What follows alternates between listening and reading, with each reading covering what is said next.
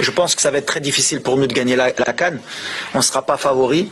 Les équipes du chapeau 2, ceux qui n'ont pas vécu le mondial, parce que moi, si j'avais pas vécu le mondial, je serais pendant un an, deux ans à motiver mon, groupe à dire on va aller à la Coupe d'Afrique pour effacer tout ça. Ces équipes-là, elles me font plus peur que les autres. La Coupe d'Afrique, ça a toujours été difficile pour le Maroc. Euh, on n'a qu'une Coupe d'Afrique. Euh, ça fait longtemps on n'a pas vu les demi-finales. Je crois que la dernière fois que le Maroc a fait demi-finale, je crois que j'étais joueur, j'avais des cheveux. On va essayer de se battre. Comme vous avez dit, vous avez parlé de premier tour. Déjà, on va essayer de passer le premier tour. Et après, Inch'Allah, comme on dit, si Dieu est avec nous, pas après pas. Mais aujourd'hui, le Maroc n'est plus favori de la Coupe d'Afrique des Nations. Qu'est-ce qui s'est passé? C'est quand même, Michel, l'un des plus grands rétro-pédalages de l'histoire du football africain. Faut-il le croire, Nabil Djelit Non, faut pas, faut pas le, faut pas le croire évidemment. Et il, a- il avait donné le fond de sa pensée à la sortie de la Coupe du Monde en disant qu'il fallait absolument que le Maroc soit sur le toit de l'Afrique. Et quand tu arrives en demi-finale d'une Coupe du Monde, tu as quelque part euh, euh, fait, euh, fait sauter un plafond de verre. C'est pas pour venir faire du, du tourisme et se faire sortir en quart de finale de la Coupe d'Afrique des Nations. Donc, il sait que c'est compliqué. Évidemment, une Coupe d'Afrique, c'est un autre monde, c'est un autre logiciel.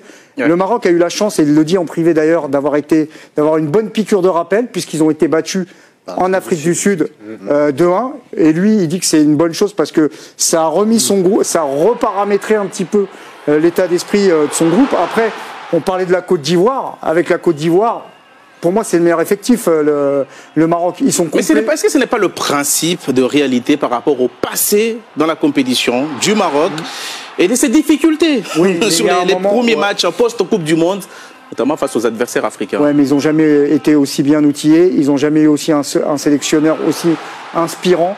Eux, depuis 2004, le Maroc, ils ont, ils ont fait une finale de, de Cannes face au, à la Tunisie. Ils avaient perdu 2-1. C'était une nouvelle génération qui arrivait. Ils pensaient qu'ils allaient dominer ou valider à un moment donné. Ils l'ont pas fait. Ça a été des désillusions à chaque fois, ou quasiment à chaque fois. Avec, euh, et là, et là, Mais- ils peuvent pas se cacher. C'est-à-dire que concrètement, tu sors d'une demi-finale de coupe, tout le, tout le continent les attend. Donc quelque part, c'est- terrible, mais ils n'ont pas le choix. Alors comment, on peut interpréter ça, ce, propos? Est-ce que c'est une façon de faire retomber un peu la... Mais c'est surtout un message en interne à l'égard de ces joueurs. Parce que ces joueurs, ils sont arrivés en demi-finale de la Coupe du Monde. Maintenant, ils sont là, ils battent le Brésil en amical. Le Brésil. Euh, donc voilà. Et pour eux, je serais tenté de dire, ils sont sur Mais ils une- reviennent, il faut match nul contre le Cap Vert. Ils hein. sont sur une autre planète. Exactement. Et tout d'un coup, ils reviennent, ils perdent en Afrique du Sud, ils font match nul là contre le. Donc, donc c'est impératif que Regragui les ra- ramène les pieds sur terre. C'est pas aux joueurs qui dit ça. Non, mais il le dit en conférence de presse. Oui, mais c'est pas pour les joueurs.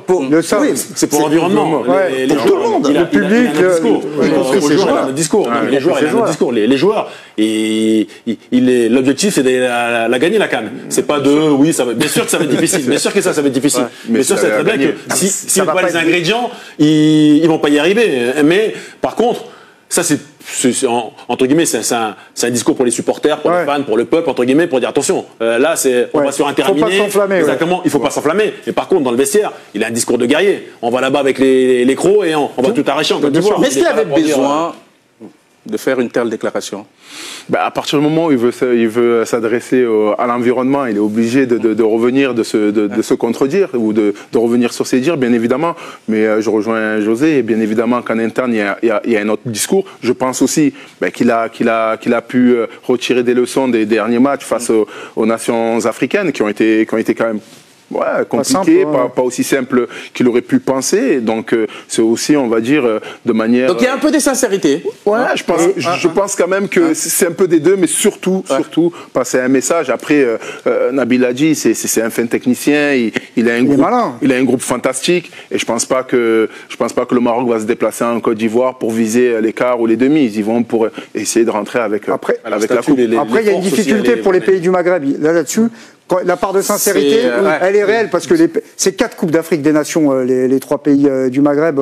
L'Égypte, c'est. Non, l'Égypte, c'est pas le Maghreb. Non, non, mais combien, combien ils sont, ils sont combien de, de, de coupes? Euh, Ils sont à 6, 7, Non, mais je veux dire pour la zone nord. euh, C'est-à-dire que le Maghreb, c'est l'Algérie, elle l'a gagné à domicile en 90, elle l'a gagné en Égypte, elle la gagne pas en Afrique subsaharienne. La Tunisie l'a gagné en- à domicile en 2004 et le Maroc l'a gagné en 76 en, en Éthiopie, si je dis Ouais, pas ouais. de, euh, de bêtises. Donc il y a aussi euh, cet aspect-là qui rentre en ligne de compte.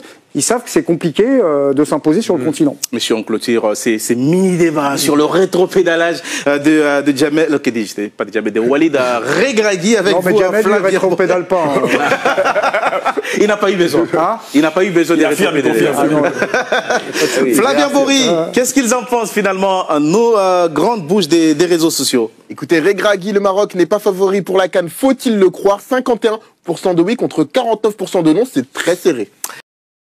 Le coach du Maroc nous fait comprendre que le Maroc n'est pas favori pour remporter la Cannes en Côte d'Ivoire. Salut à toi et bienvenue dans cette vidéo. Dans cette vidéo, on va rebondir sur le propos du coach du Maroc.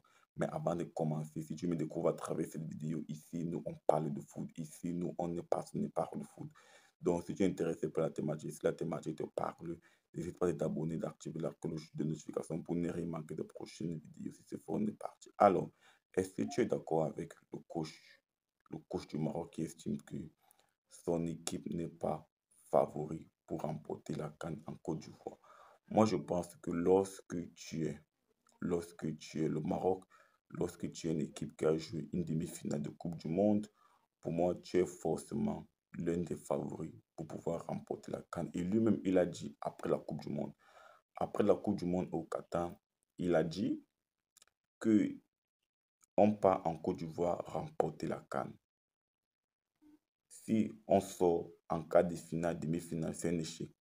Ce sont les propos de Walid, Walid Regagri. Ce sont ses propos.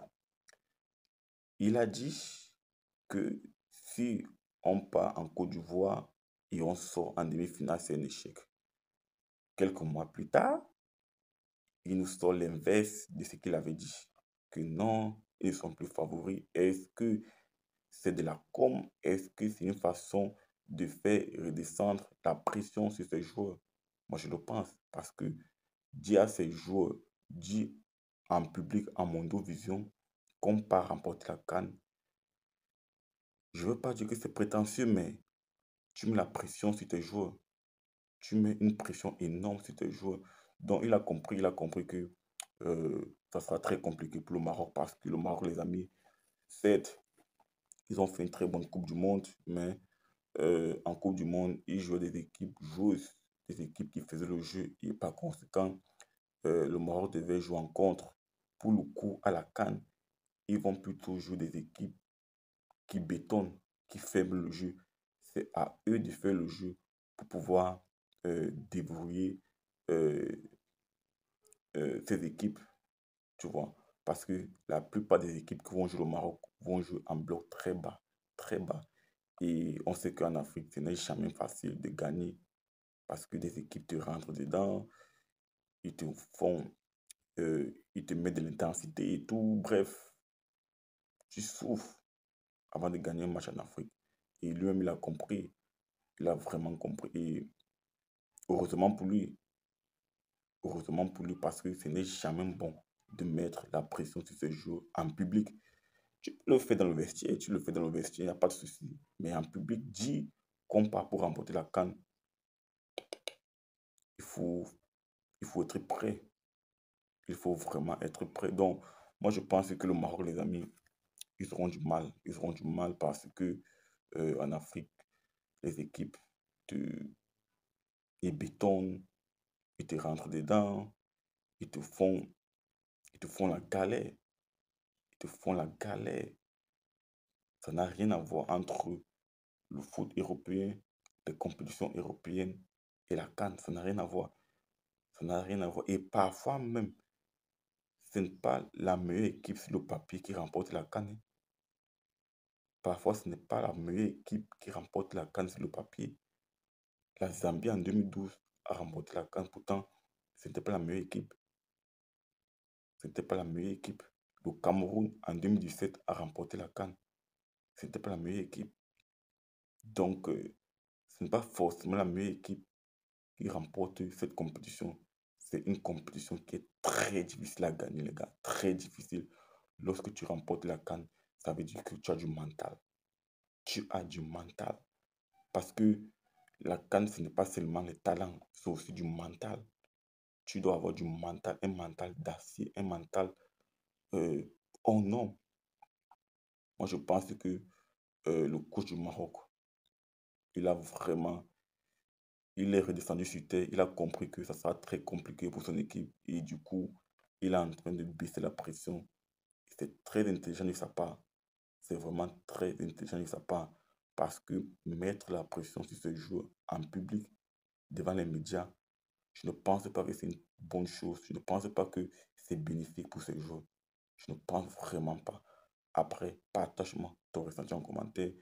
Est-ce que tu es d'accord avec le coach du Maroc? Est-ce que tu estimes que le Maroc, c'est le grand favori pour pouvoir remporter cette canne? Dis-moi tout. Et ce n'est pas encore fait, n'hésite pas de t'abonner, d'activer la cloche de notification pour ne rien manquer des prochaines vidéos. Se dit à très bientôt pour notre vidéo, les amis. Ciao, ciao.